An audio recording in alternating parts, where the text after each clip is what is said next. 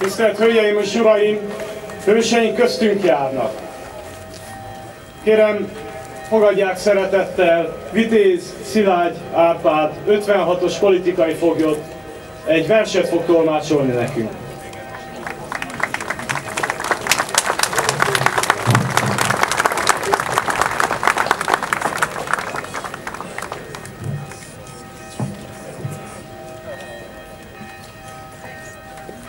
Kovács Pál, Verecke.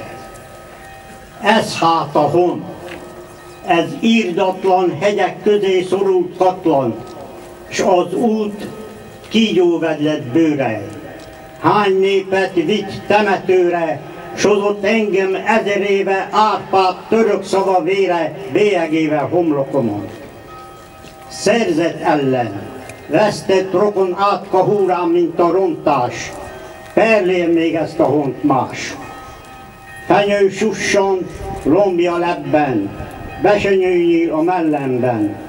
Szakadékok, szakadt sebek, útpor felleg, megy a sereg, elmegy, s engem hagynak sírnak. Ágyékóból most fák nyílnak, fényes szemen kivirágzik, szájam havas virart habzik.